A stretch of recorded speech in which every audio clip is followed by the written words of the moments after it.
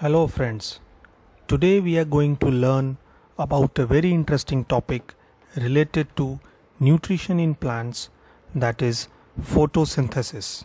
Friends, as you all very well know, that plants or trees are living things like us.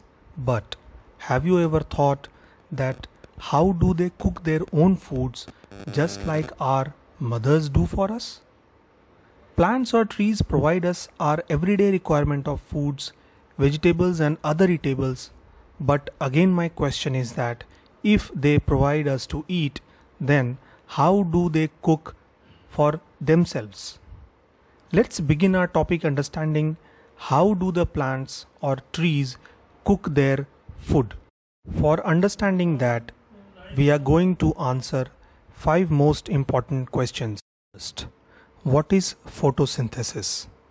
Second, who is known as the father of photosynthesis?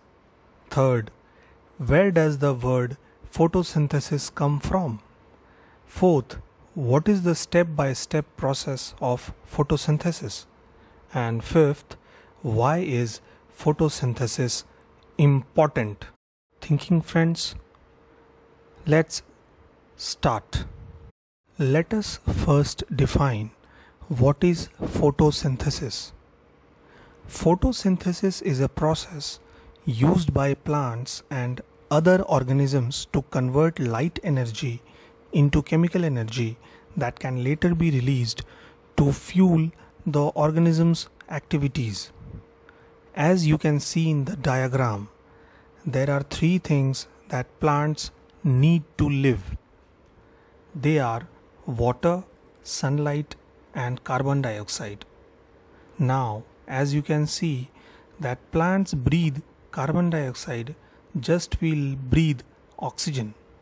When plants breathe carbon dioxide, they breathe out oxygen.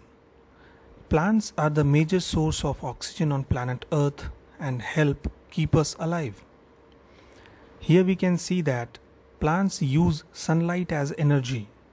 They get water from rain and they get carbon dioxide from breathing. Whole process of taking these three key ingredients and making them into food is called photosynthesis. Now let us answer a very interesting question that who is known as the father of photosynthesis?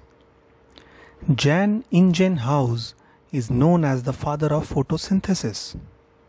He was a Dutch physician born in 1730 and he discovered photosynthesis, how plants turn light into energy. Previously, a English chemist Joseph Priestley had revealed that plants produce and absorb oxygen from the atmosphere and in 1771 after meeting Mr. Priestley Ingenhousz conducted further experiments on plants physiology. He observed that green plants released bubbles of oxygen in the presence of sunlight, but the bubbles stopped when it was dark. At that point, plants began to emit some carbon dioxide. Further on this, Ingenhousz concluded that light was necessary for these steps to take place. He also found that plants give far more oxygen than carbon dioxide, thus identifying the benefits of having greenery around to purify the air. Friends, now again a very interesting thing to know. Where does the word photosynthesis came from? The name photosynthesis came from two different Greek words.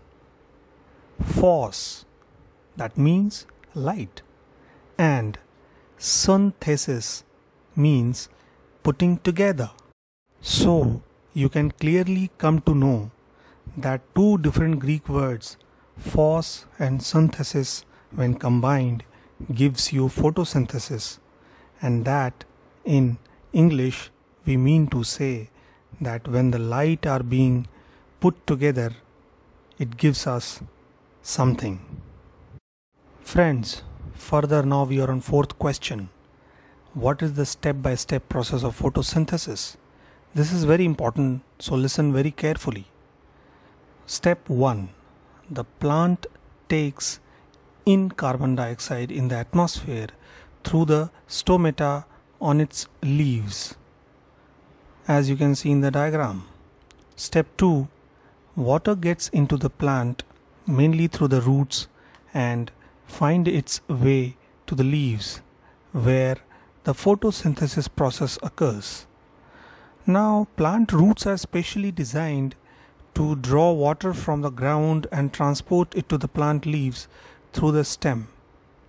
Further, step 3 a chlorophyll, the green coloring matter of the leaf, traps the energy from the sunlight as it shines on the leaf. It is worth noting that it is chlorophyll that gives the leaf its green color. Further, step 4 and the last one, the solar energy is used to break water down into hydrogen and oxygen. Then hydrogen is combined with carbon dioxide to make sugar which is food for the plant and oxygen is released as a byproduct through the stomata. This diagram completely shows the step 1, 2, 3 and the fourth one where the food and oxygen is being released through the plant to the atmosphere. So this whole process can be easily understood by the diagram showing it here. If you have anything query regarding this diagram, please make me understand. Friends, now we are having the last question with us that why is photosynthesis important? Now here we can see three points basically. Photosynthesis is equal to process of making food as we have already understood that. Organisms like plants provide food for almost all other living things on earth. And very important, plants release oxygen into atmosphere you know that almost 90% of oxygen is from photosynthesis apart from all these things plants play very important role in continuity of life on the planet. And all thanks to photosynthesis for that. We have many things. For example atmospheric gases food and energy petroleum products wood and their side products, and at last, medicinal products. Now, atmospheric gases like carbon dioxide and oxygen are being released as the byproduct of photosynthesis. Food, as you know, that it is being pro- again produced by the process of photosynthesis, and we use it for eating. Further, petroleum products also. It is very strange to know that plants also help us having the petroleum products. When the plants are under intense pressure, then after million of years, coals or natural gases are also produced in the same way. And we know that wood is a very important product of plants or trees. Further, plants also provide us many medicinal products like different different chemicals that we are getting extracted from the plants so friends after all we are at end. And thank you so much for understanding the photosynthesis from my side. If you have any query regarding photosynthesis you can ping me up. Thank you so much. Have a good day